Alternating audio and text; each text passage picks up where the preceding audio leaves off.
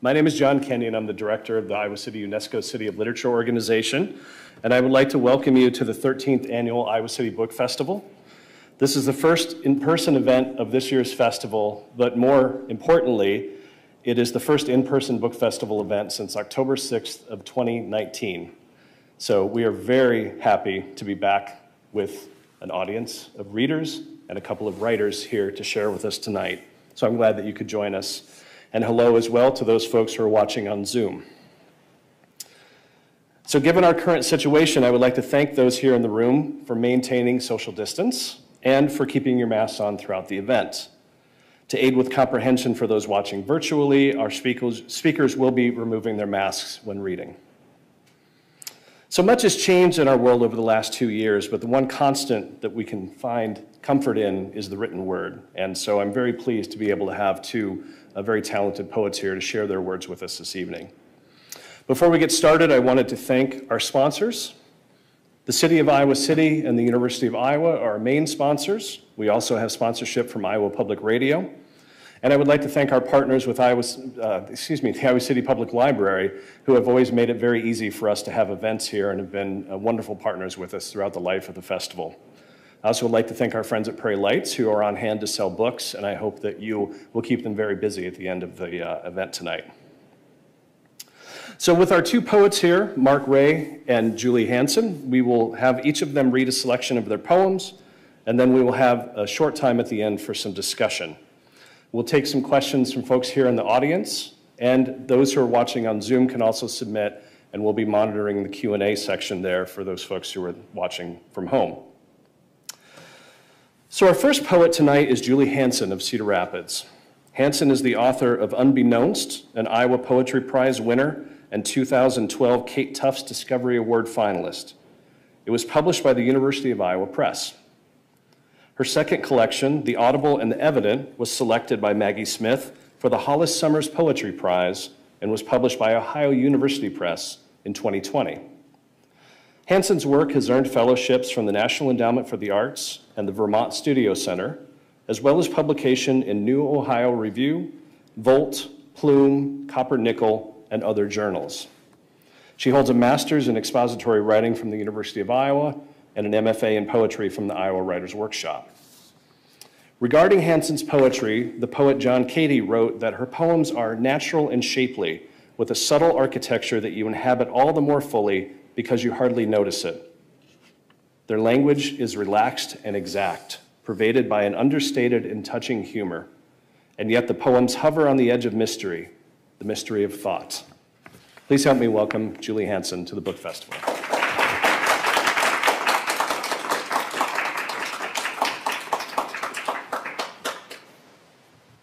Oh, I can take this off. Uh, welcome to the festival from me as well. Um, that was a lovely introduction. Thank you, John.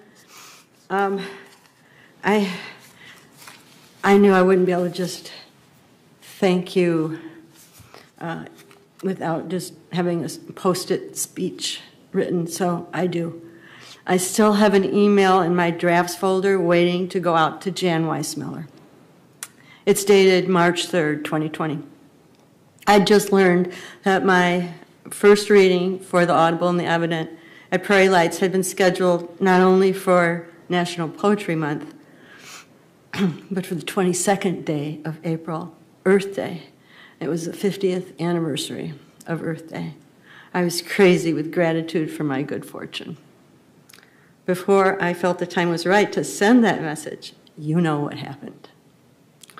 Events that were live were postponed, and then they were canceled.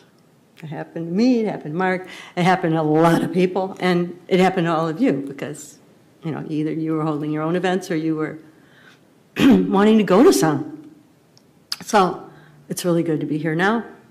And I'm grateful to Jan and to John Kenyon and to the organizers and all of you for enabling poems from my book and from the Gravity Well to be read out loud here tonight.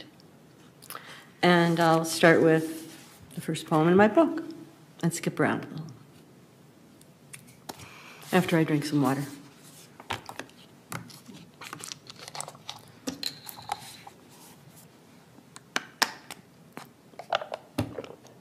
Real life, dear voyeur, real life. Much has cut me from my task. October has peaked here. To look out the window is to lift from the chair in order to get closer to those leaves, still shining with the drop in temperature, radiant with colors too exact and pleasing to explain. To look out is to leave the house entirely in search of a justifiable chore. The garlic, for example, must be planted and soon, lest the best of our seed cloves shrivel away to no better than dust in a casing right there in the box. And not only that, we are completely out of celery. I tell you, real life is a pull and a lure and a fling back thing, a need and a need and a slow motion slide through all sorts of partially identified, coming right at you, sudden matters. Some of them just plain practical to attend to. And then right before autumn, the yard was in summer. The whole out of doors bobbing or zooming, at any rate, busy. I hung her laundry on the line and, charmed by the shape and efficiencies of the wooden pins, was made nostalgic for my own first toys.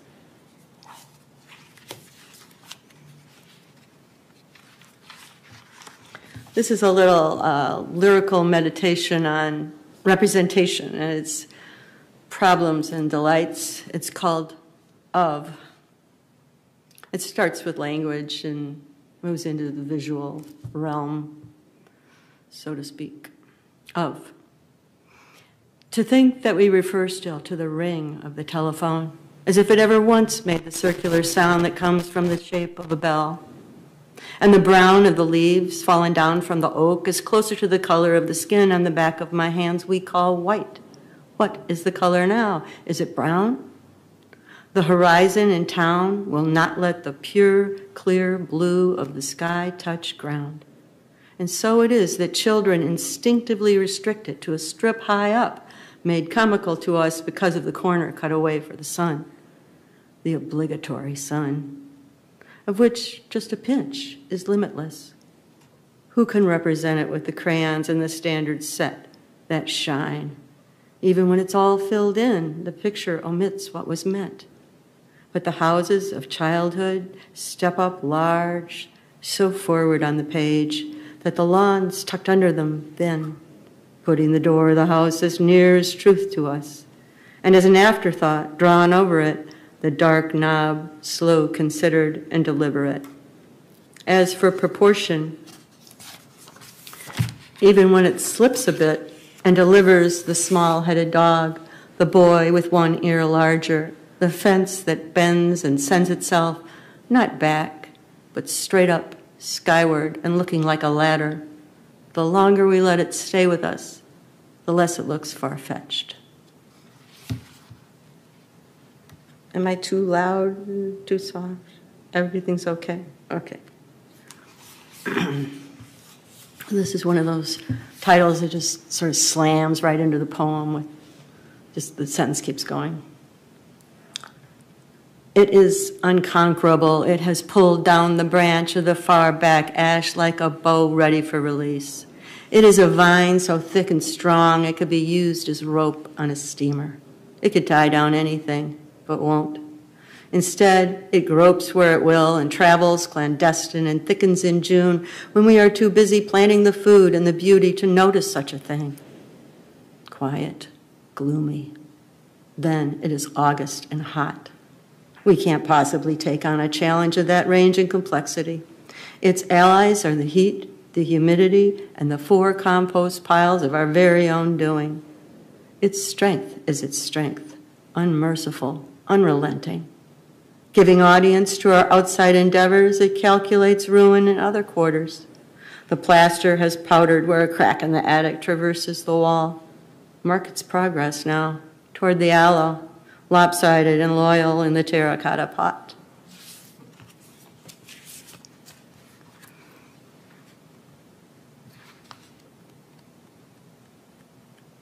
My husband can laugh because he's he knows that vine, even though he's heard he's heard that poem a million times. the vacuum. Don't ask what it was all about. Ask instead how sudden it was, how complete.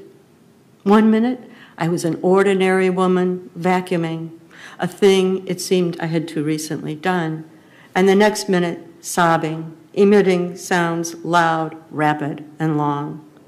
It was the kind of sobbing that makes you feel five, five years old, or housing a feeling five people wide.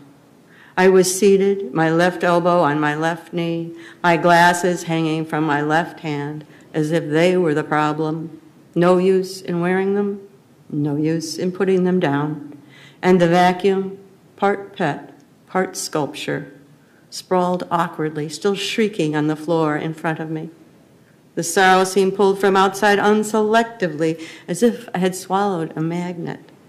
Each time I felt that I could silence this, that something had been spent, something settled, I opened my eyes to that canister, attachments on its back, hose, and extension. Reality piece, which had withstood the worst of me, had witnessed, and was unaffected.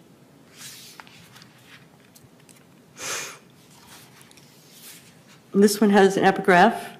It's taken from a teabag tag. It goes like this Our thoughts are forming the world. The poem's called Dialectic and Infusion. Inasmuch as our thoughts are forming the world, let us control them. Inasmuch as our thoughts are forming the world, let us take off the leash. I remember a time we were quarreling horribly on a walk at an arboretum, and we were brought to a halt by a surfeit of perfectly circular ferns, the ricochet gone from the glade, the dark peat of buoyancy. We receptives, we don't know what we are until somewhere seeps into us self evident.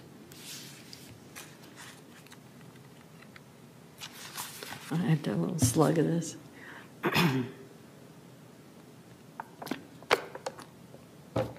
okay, I know that this poem has uh, a statistic that needs updating, but the poem really wasn't drafted, the first draft, that long ago. And so I decided to leave it that way as sort of a marker for how far we've progressed. The poem's called They Are Widening the Road. The pipes have been revealed, enormous, that lurked all along underground. The clay colored dirt is piled. Barriers are fortified by barrels, hurdles, stakes. Here's the backhoe making three point turns, the traffic at a halt, the heat, the sun that bakes the dust, the sun through glass that magnifies the heat. Too near to every business here and house, a mile of road has moved from plan to controversy to regret. Several of the orange cones, disturbed, have tumbled into rolling hazards. Here's the church, the hardware store, the auto supply, the bank, the gallery, the pharmacy, the school. Here is the other auto supply, here is the world with its six billion people, with its how many random cancellations of the single will, hopeful, defeated, locked once to another, rhythm, scent, and curvature in the ancient act of increase, not thought of in these terms, but felt, a direction that was sure, detained, detoured, deferred. The personal is different than the whole we are directed into other lanes. Does anybody out there feel that the issue of fairness has been given all too often a disproportionate attention? It takes but gentle mention, and the matter's tabled yet again. With us or without us, an agenda slips along like mercury through tubes of glass. The line is longer, and the great big sound from close behind is right inside our car. There's no moving up in line, and the pavement of the lane ahead is ripped pilot car. Follow me. This is a little prose poem. It brings me right back to Clyde Lyon Elementary School. It's called Swist. I had inadvertently, let me start that again. I had inadvertently stepped on the heel of the girl in front of me, and she had walked right out of her shoe, which was to us hilarious largely because it disturbed the solemnity of single file and made a daring little joke on the oft repeated phrase, hands to yourselves. Admittedly, we did giggle and bunch up, and I was singled out and put in front, making memory clearer. The plain beige linoleum, despite its stubborn scuff marks, gleamed. I so wanted to mock the walk of our teacher now that I had been made an isolate, put in a category all of my own, neither teacher nor student now, but one wanting discipline. The cheese stands alone. I was feeling that. I could feel the little wind through the holes.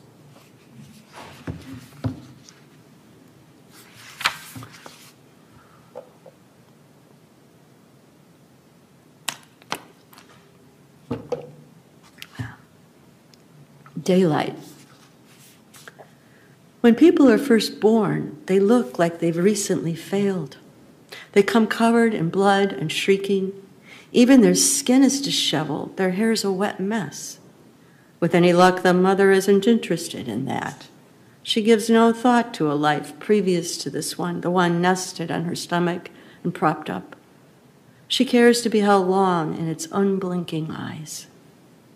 Your next best chance is in the stranger's face. Better put away your handheld device. You may never know how your mother felt about you all those years ago. You may never get it right with the people you're related to.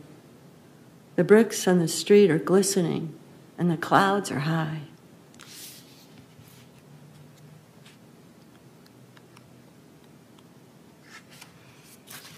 How am I doing on time? I feel like I've been reading forever. Still got some to go.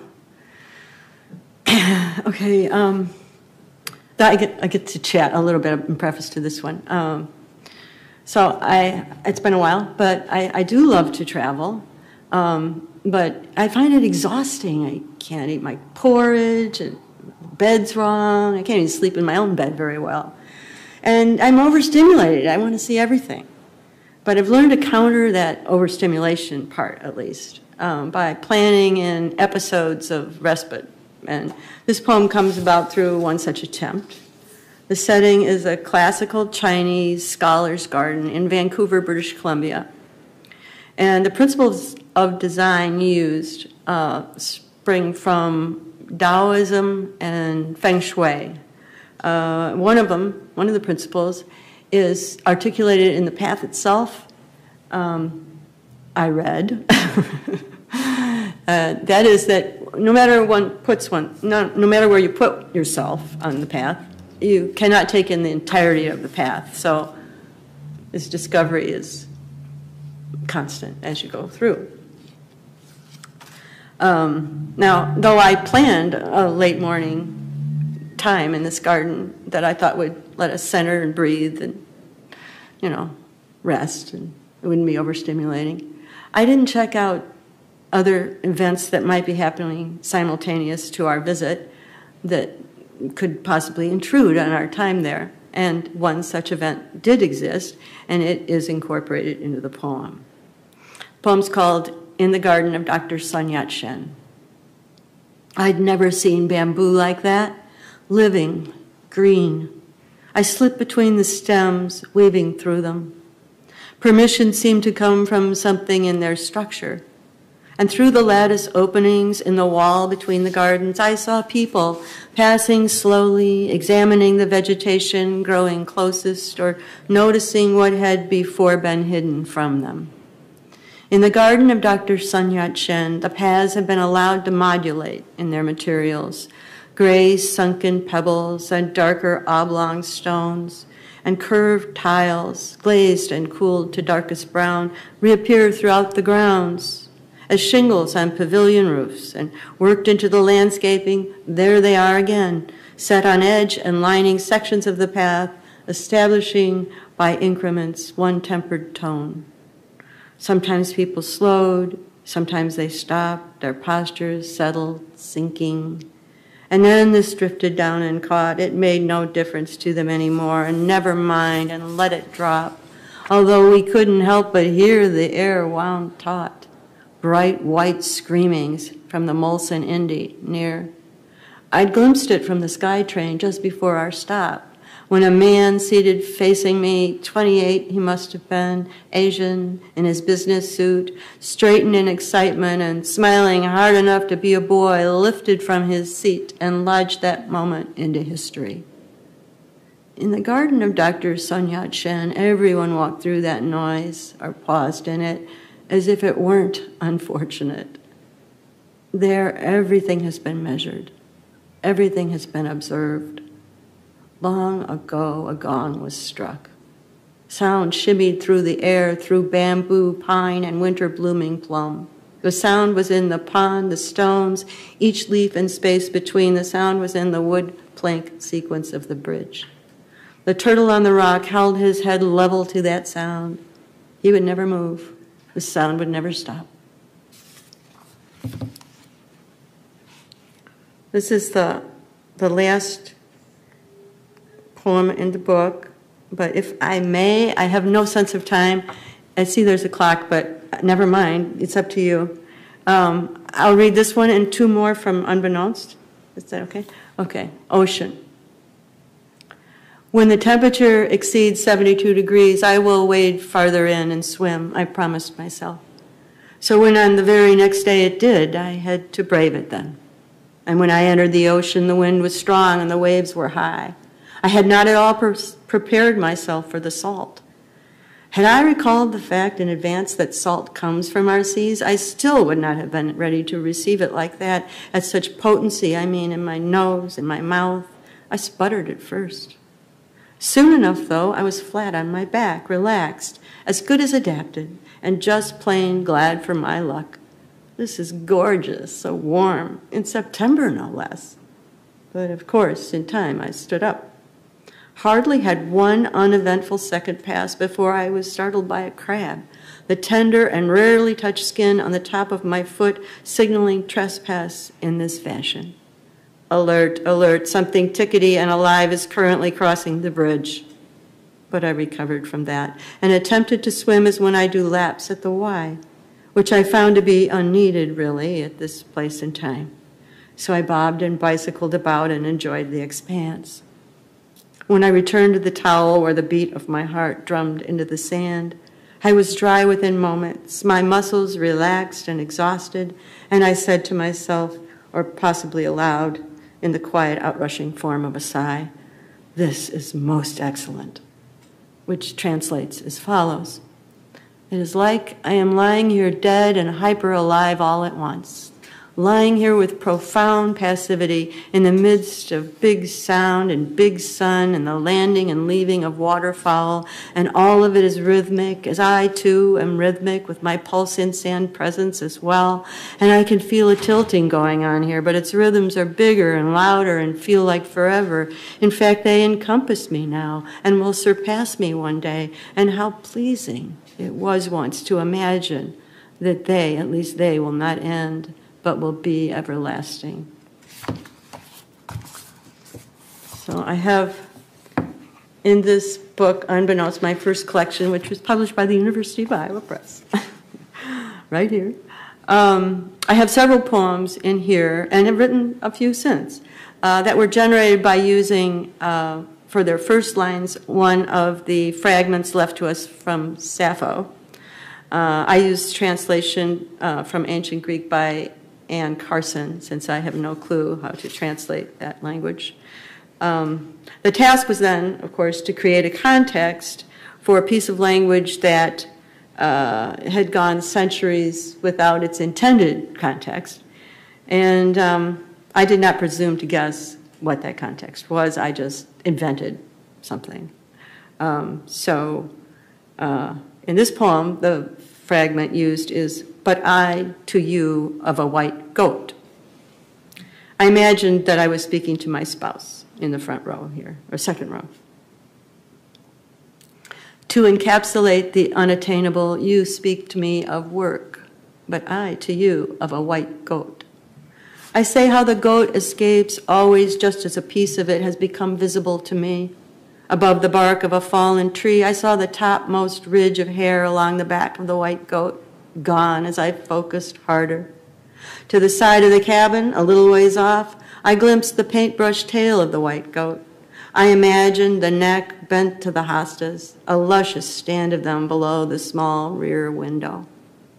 And what peered at me in traffic through two slots in a livestock truck but the face of the white goat? I stared incredulous as it passed me to merge with traffic headed towards Toledo. These are the subjects we endure in order that we may better understand each other and consider how different they are. The coyness and carelessness and striving of your co-workers, the appearances of the goat, the routine revamping of technologies you depend on, and the intangibility of the goat. This evening I reported, first, sorry, today, the first spring-like day, how the goat would have enjoyed it. All morning as I worked in the yard, removing old leaves and old growth, I pictured him standing on the grassy mound, not much longer or wider than himself, to get a better view of the neighbor's crocus. And this is a real short one. Uh, again, its first line is a fragment from Sappho that goes, Whiter by far than an egg. And the poem's called Untitled. Whiter by far than an egg is the paper I haven't the wherewithal to fill, its unblemished surface a reproach. A good opportunity, it speaks of potential. It's an assignment I don't understand. It implicates my life with emptiness. Once, it says, things happened, and you were changed by them. That's it. Thank you.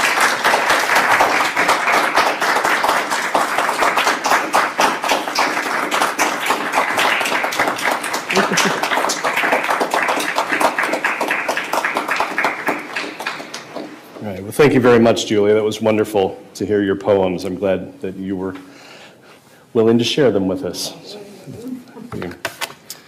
So, our next poet tonight is Marc Rahe of Iowa City. He's the author of three poetry collections The Smaller Half, On Hours, and Gravity Well. All three were published by Rescue Press, the most recent of these coming in 2020. Mark has an MFA in poetry from the Iowa Writers Workshop. His poems have appeared in the Iowa Review, Jubilat, Make Literary Magazine, Sixth Finch, and other literary journals. When selecting Marc's poems for the Pen Poetry series, guest editor Shane McCrae wrote, Marc Rahe is one of my favorite poets.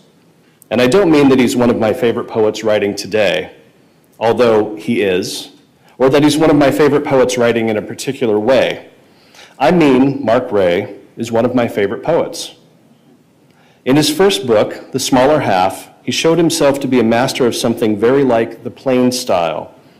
But there was a strangeness just below the surface of these poems, and that strangeness surfaces more and more frequently of late. Now, I would say he is also a master of something I want to call plain strangeness. Please help me welcome Marc Rahe.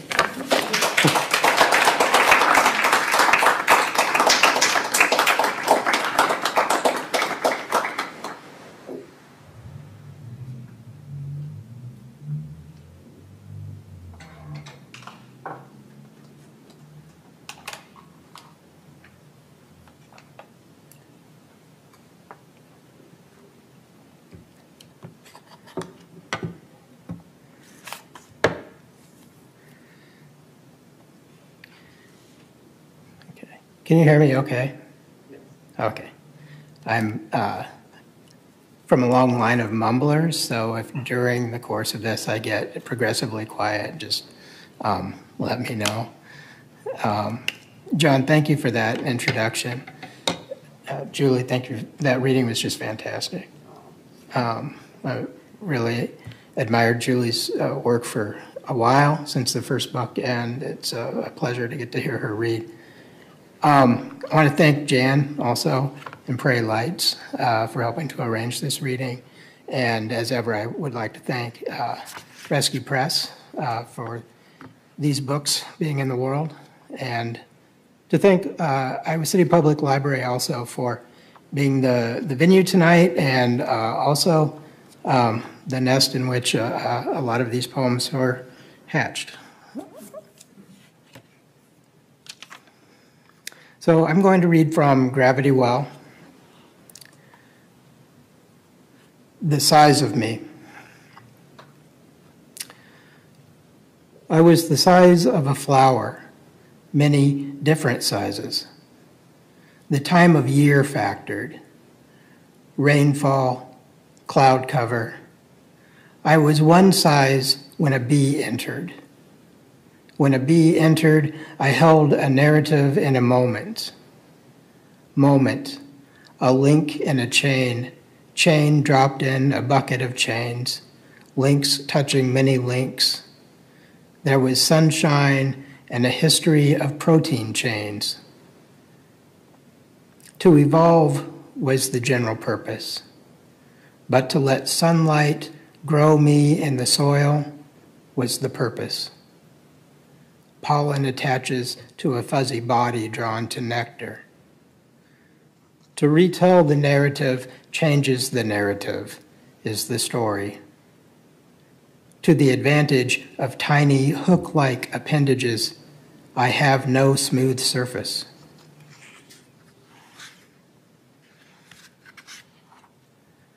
Election cycle.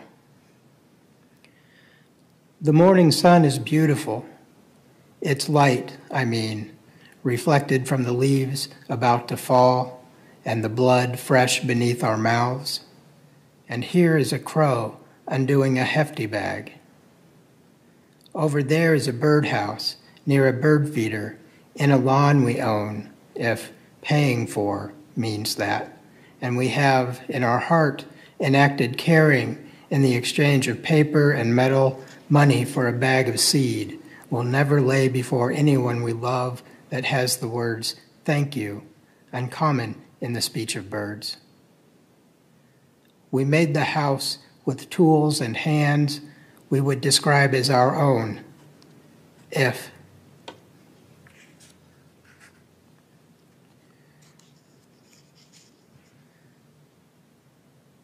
never to divide by zero. A voice raised in anger at the office, raised and sustained. Someone's job is to watch for the light of past events in the sky. Eyes and antenna raised in hindsight. What would you rather undertake as part of your last day? With prescription sunglasses and a functional player, one can subdue miles lot after lot containing second stomachs. What is the value of a dollar rejected by a machine? Above, butterflies and raptors lend their wings to gargoyles.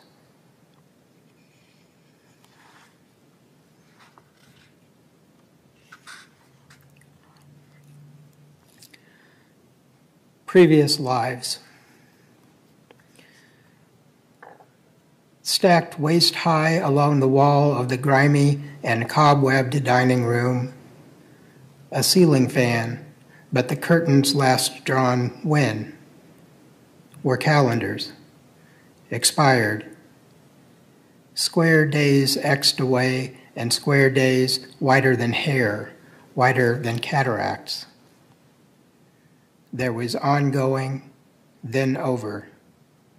Bare feet, then the relief of stepping from cold tile to the kitchen rug, from cold tile to the bathroom rug, the cold of rubbing alcohol applied to open skin. The question of that day of the dog's bath whose first memory? Rumination, a stack of squares, beads off the string the ones never retrieved down the vent in the dark and mildew of the ductworks? What is before the breath? What after? How could anyone sleep so close to the tracks? The same stars above, water from the tap beside. There is only so much between the lines of an equal sign. The lines never meeting, parallel, containing space, but open like this house revisited, windows all open now to draw air, to disturb the mess, ruin, ruins.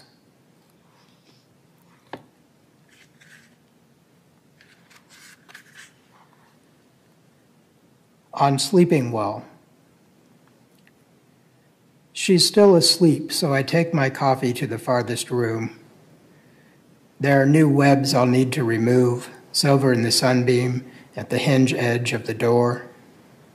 I clear space on the desk, stacks of books like neglected friends, all facing the same way.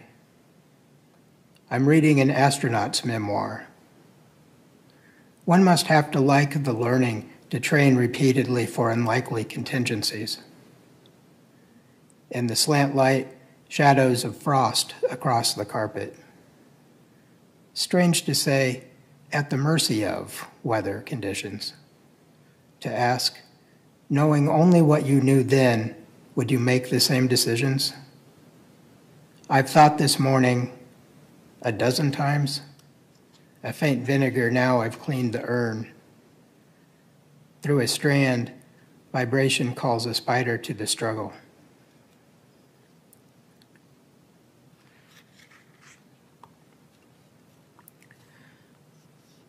Birthday. The numbness was explained to me in my fingers, downriver from the forest in my neck, a smaller and smaller forest, branches always closer. Though I could still grip my arthritic grip, bring the cup with both hands. In that time, my job had light lifting for the successor, I left notes, passwords on one post it.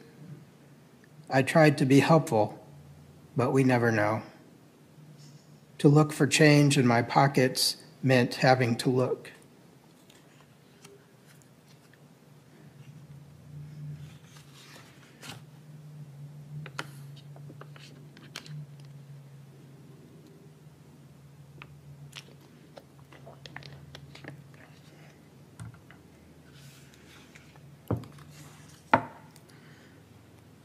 Nightstand. Ground divorces from ground and red from the heart beneath the press that screws with love the apple toward cider. Fragments are left of spectrum when chlorophyll abandons the leaves, old yellowing story. Selling dismiss- dismisses picking. A classic of skyrocketed afternoon becomes lewd, interpreted her favorite song from childhood, dragged through bong water by blacklight. Midnight, you held me once through the lace veil interrupted by actual touch. What made a recipe for vinegar of if, then, therefore, in, or negative in, some, or its homonym? Both cuffs are open beside the water.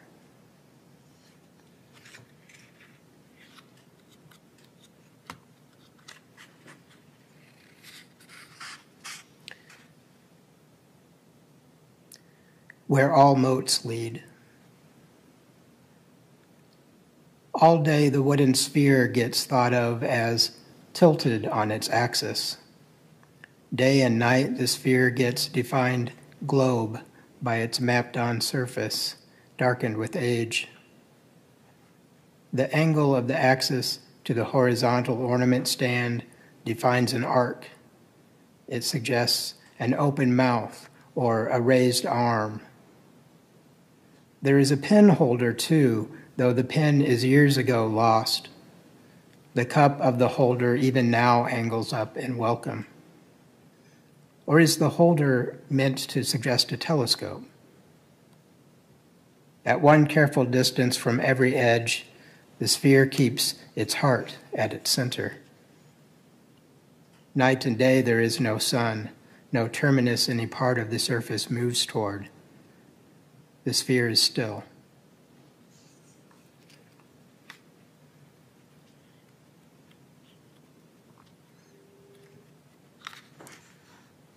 Appetite.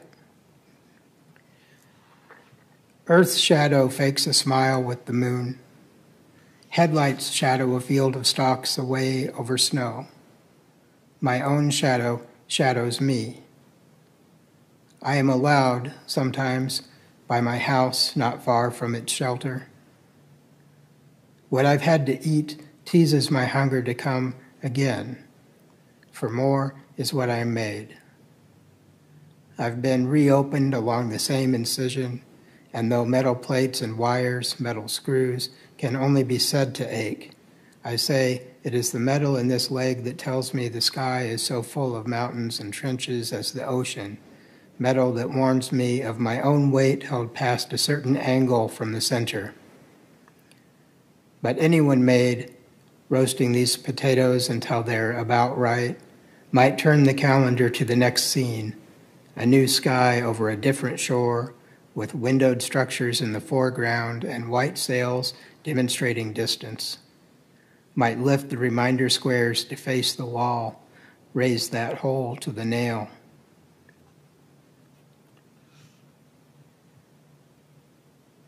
Inhuman. I will fall asleep but wake with the same mind. There was a boot print, dirt patterned on a jacket I found at a bargain. I would like to become so eloquent. There is much diction beyond me, admissible details in the kitchen fixtures, features, geese in formation lower toward the river to follow, but then not to land. Is parallel what those reflections are? It's the quality of vision flicker fusion threshold that enables the hawk to strike at that speed, how the frames need to advance only so fast for the illusion.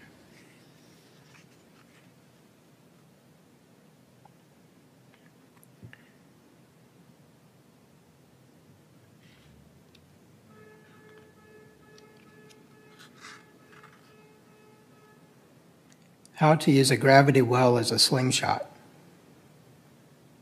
color coded flags in the yard where not to dig. Someone knocks, stands a while, gives up, goes away. Things I'm going to fix include a bite, adding elements of fire and water. In the night, the sound of something outside I wish would die faster.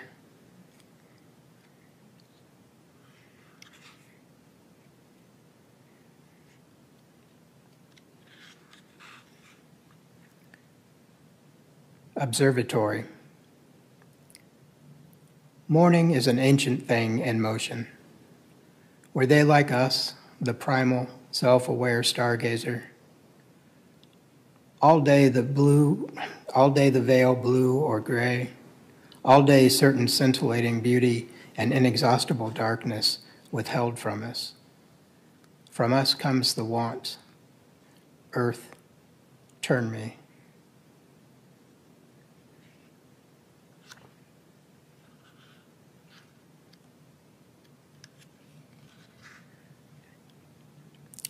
The bumblebee. the bumblebee. One, just flying into a flower of the zucchini plant as I approach the garden.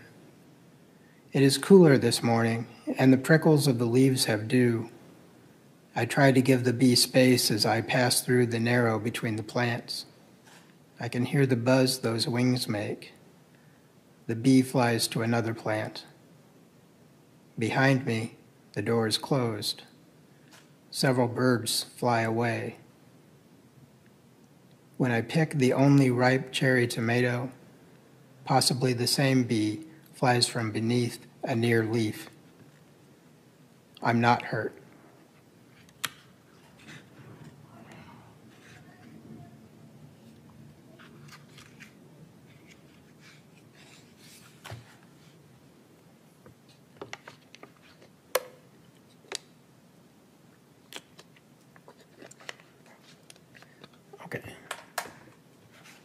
I have uh, three more poems.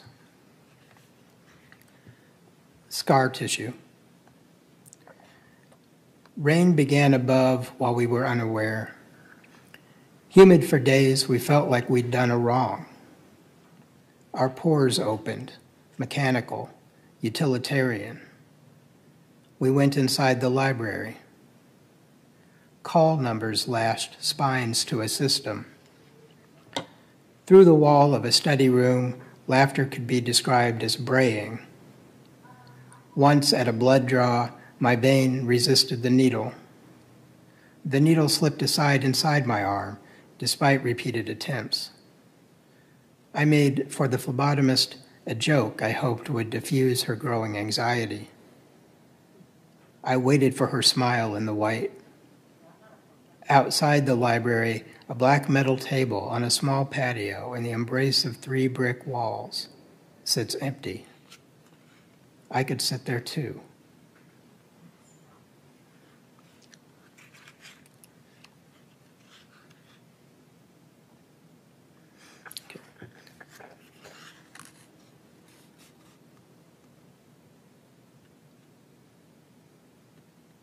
Uh, this is called nostalgia.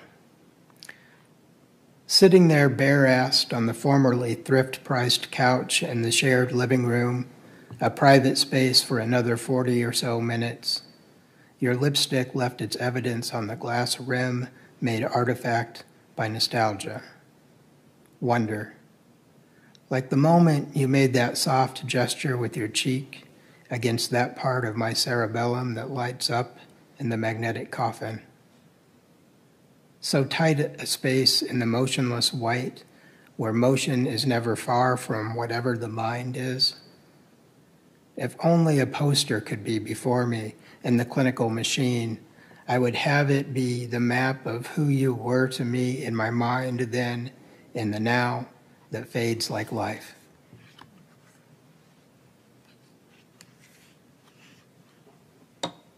To live in interesting times. The fluorescent light seems to struggle against death. Not dead yet, the fixture pulses every few or several seconds, bequeathing humility to the shadows. The light is beacon like above the shelves of biography, the book named Elon Musk, the book named Flannery O'Connor. Not being people, the biographies seem unirritated, self contained. I am so irritated I can barely contain myself. I have practiced so long to learn to read, and now feel myself as attention launched against that light. Someone is responsible. I am just a patron of this library.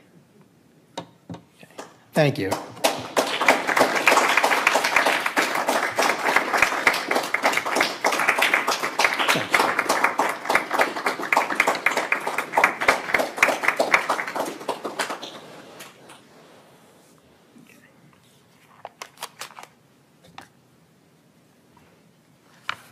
Perfect. Well, thank you very much, Marc. Another wonderful reading, great night of poetry for us. So I am going to beg a little bit of forgiveness because this is our first time trying to do a virtual reading. And so I wanted to see if we had any questions from our Zoom audience. We do not, though we do have a couple of uh, fans of Marc's who say woot woot. So, way to go in the chat. So, we do have a few minutes, and I know both of our poets were super excited to be able to answer some questions.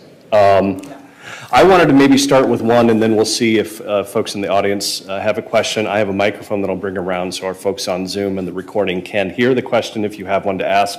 Um, but I wanted to start, and I prepped them for this, and maybe we'll go with you first, Julie, because you've had more time to think about it. Um, has the pandemic had any impact on you as a writer, as a poet? Has it changed your process? Has it altered the fact that you can't get out and maybe observe the way you would have pre pandemic times? So if you wanted to maybe respond to that. I was going to say, just if you could speak into the mic just so they can hear you. Yeah.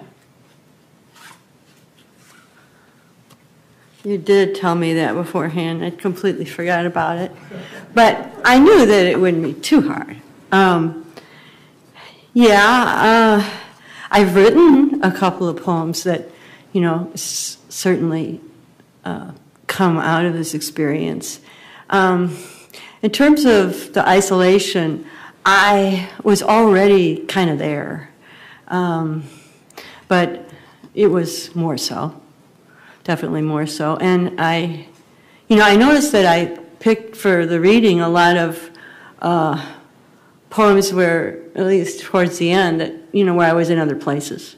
And so maybe that, it, just the fact that I chose those means I want to get out of here. I don't know. Um, but uh, my main um, uh, generator of work uh, remained constant. It just had to go Zoom. That's my writing group.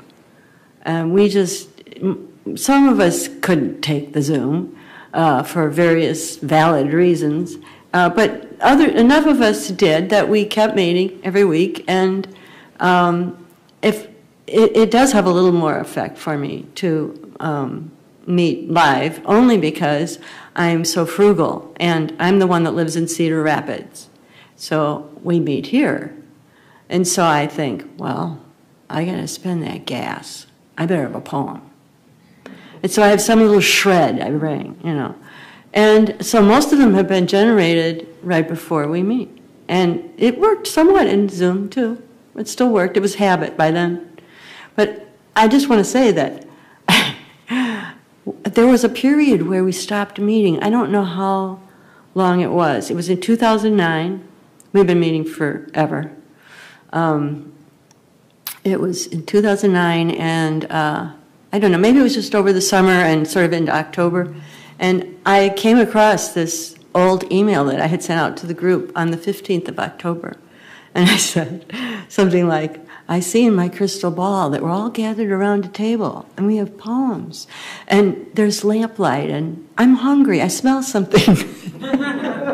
what do you think? And they came and we've met ever since. And I don't know what I'd do without him. And I think that's Kathy over there. Is that Kathy? And Jan's here. And uh, Dan's here. So, you know, they came to this too. So they're really great. And so that's what I need. It's, it, I could still have that with, with the Zoom. So, Perfect. Thank you. Um, Marc, I actually, I realize I can just come to you guys since I have a microphone. So, Oh, nice. Sorry, I made you get a little exercise, Julie. Oh, that's okay. I need. I, uh, my experience was uh, with the pandemic, I, it really just put a, a huge damper on my writing. I um, wrote very little. Uh, I was in the process of finishing the edits on Gravity Well, so I, I was working on that and doing some some revision and rewriting for that, and um, and then worked on uh, a few other non-writing projects. But uh, it was really only uh, later, once things started to open up and I was able to, to be around more people, uh, that I was able to start writing again. It's still much slower than it, it was before, and maybe um, a touch more filled with gratitude and gloominess. but, uh, but it feels good to be writing again for certain. Well, I know those of us that enjoyed hearing your readings, for both of you, we're glad to hear that you're continuing to write. Uh, do we have any questions from the audience here? We do have a couple minutes. Sure, I'll bring this over to you.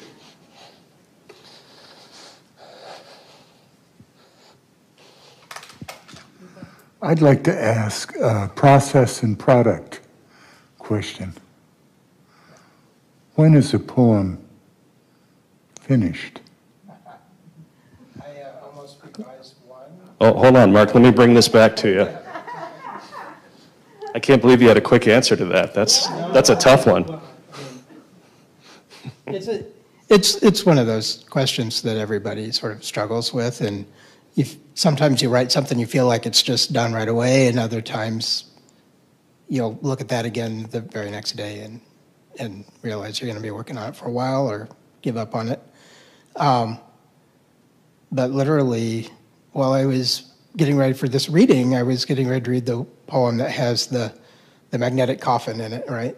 And I thought, I it's pretty far into the poem before that's introduced, and I don't know if people are going to recognize that that's a an MRI machine, or you know, if it's going to be sort of disorienting to to hear it. You know, reading it on the page, you know, you can kind of go back and look at it and see it there, but um, but just hearing it and then moving on, it occurred to me that um, perhaps I should have titled that um, MRI or magnetic resonance or something that sort of sets that for the, the reader.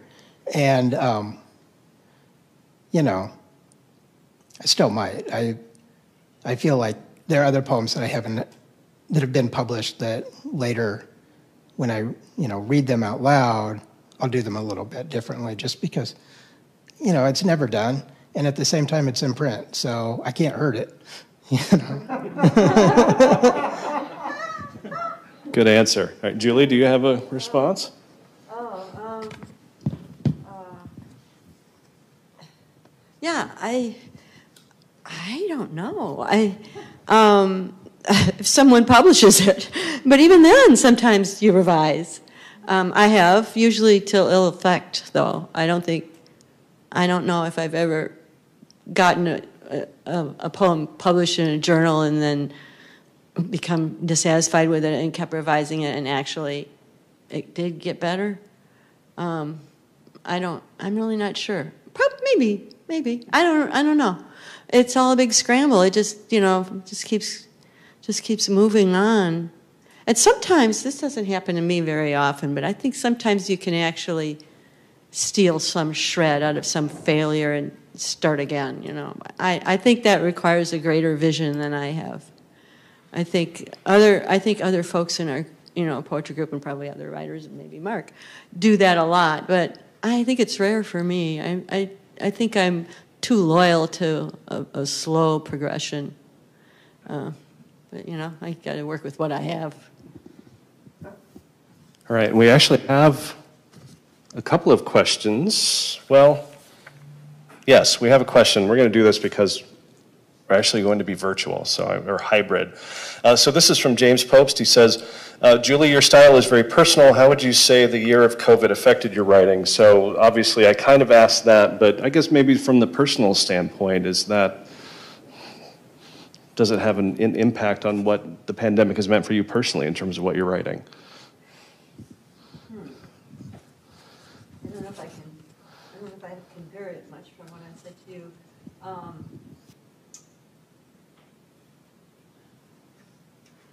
I, I, I, I'm stunned. I, I, I have no reply. How about you? Oh, it was aimed at me, wasn't it? But that's all right. Um, oh, sorry. That's all right. I'm a dud on that.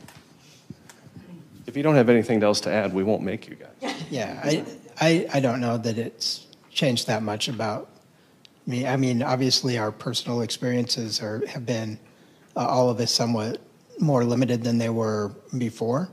Um, so, in terms of like writing about current uh, experiences, um, you know, I'm not going to be writing poems about traveling too much or anything like that. Uh, and uh, clearly, that has a, an effect on the the interior as well. Um, so the perspective's probably a bit focused in the same way. All right, so we got an extra answer out of that one. That was good. Thank you, Marc. All right, well, I think uh, with that, we will go ahead and, oh, well, we have more questions. People are really being aggressive. So maybe one last question for you folks. Uh, and this one is for Marc. Um, see, many of your poems end on a powerful image. For example, through the vibration of a strand of a spider is invited to the str- uh, through the vibration of a strand, a spider is invited to the struggle. Are these ending images that you see in the world the guide and inspiration for the poem's creation, or is it the other way around and the image is placed because it matches the idea of the poem? So let me come back and.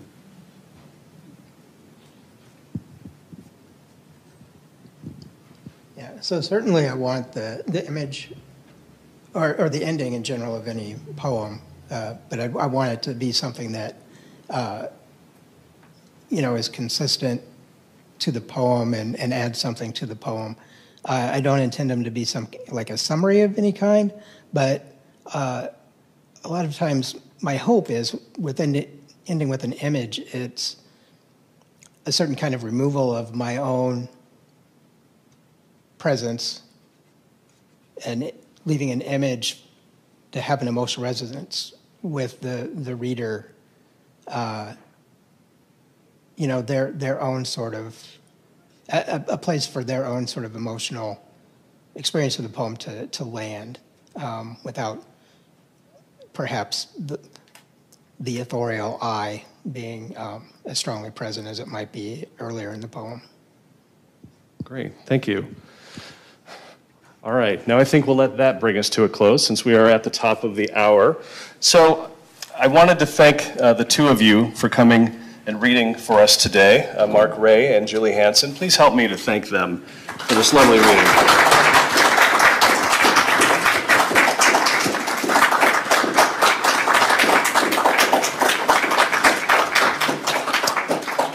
And thanks to those of you who joined us here at the Iowa City Public Library, as well as those of you uh, on Zoom. I think I'm looking at the right camera. Uh, we really appreciate this. As I mentioned at the outset, this was our first attempt at a hybrid uh, event, and I would say it went pretty well. So thanks to everyone involved. Uh, while I had you as a captive audience, I just did want to let you know about some of the other in-person events that we will be having here at the festival. Uh, tomorrow night at 7 o'clock back in this room, uh, Habib Tengour and uh, Pierre Joris will be uh, doing a joint reading. Habib is here as part of the International Writing Program, and Pierre is a guest this week of the International Writing Program. And they have done some work together, and I think it's going to be a, a really spirited uh, reading. So I would encourage you to come out for that. And then we are back in this room on Saturday. We do have some other virtual only events uh, throughout the course of, of the days in between. And I would invite you to look at iowacitybookfestival.org for that schedule. But on Saturday, we come back here to this room at 11:30, where we will have Gregory Galloway, uh, another Writers Workshop uh, graduate, who will be reading from his third book and his debut crime fiction uh, work, which is called Just Thieves.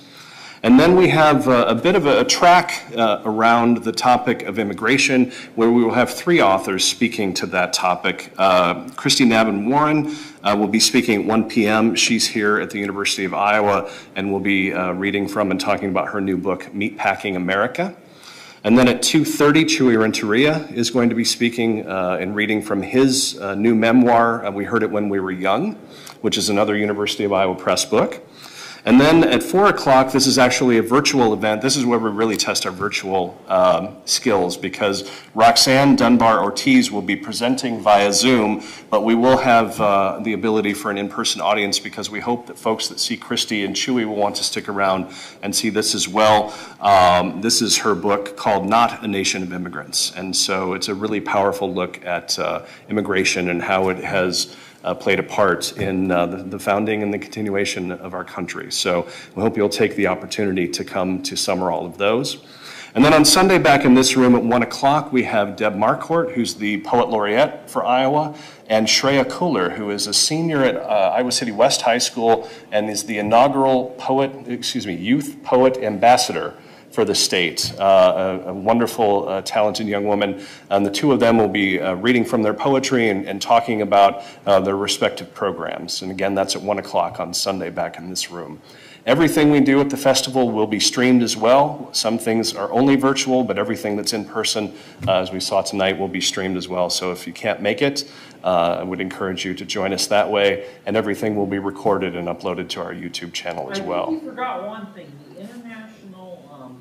um, the international panel. I did forget that. Thank you very much. So I forgot a Friday afternoon panel, the International Writing Program is at noon back in this room. Thank you very much. I didn't have much to, inter, uh, to do with the organization of that, so it slipped my mind. But yes, uh, the International Writing Program, of course, does their uh, Friday panels here in this room uh, where they have various writers who are participating in that program taking part. And the Friday panel this week is part of our festival and will be happening at noon. And I believe the topic is reality hunger, so uh, you should uh, come and check that out as well. So thank you very much. Um, Yes. Could you comment about the films that are showing tonight? Is that There are films that are being shown at Film Scene uh, as part of the festival schedule. Um, They are tied in with our program to read uh, The Brothers Karamazov. So we're about halfway through that, uh, led by Dr. Anna Barker at the University of Iowa. We're reading about a chapter a day of The Brothers Karamazov, and then there are a lot of related programs tied in with that, including a series of films that are at Film Scene. Uh, to be honest, I can't recall off the top of my head which one is today, but uh, that is a good reminder that we do have over here on the side, as well as back on the table from Prairie Lights, a full schedule of everything that's happening at the festival, so you can check that out and, and see what's going on. And that is a good reminder for me as well to let you know that at the back of our room, for those of us who are here live, is uh, our table from our friends at Prairie Lights, who have both Marc and Julie's books to sell. And I'm sure that Marc and Julie would love to stick around and, and uh, meet you and, and have uh, the chance to sign your book as well. So thank you very much. I think we'll bring tonight's program to a close and maybe help me once again to thank Julie and Marc for tonight.